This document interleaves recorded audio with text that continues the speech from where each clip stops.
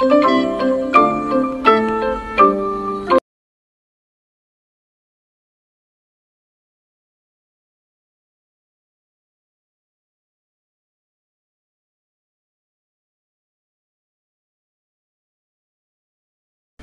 Welcome to Philippines. Philippines consists about 7,641 islands that are broadly categorized under the, the three main geographical divisions from north to south, Luzon, Visayas, Mindanao.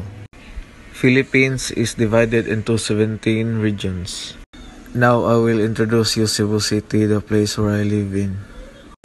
Cebu is a province of the Philippines located in the Central Visayas region and consists of main islands and 167 surrounding islands and islets. If you visit Cebu, you should also include this in your bucket list.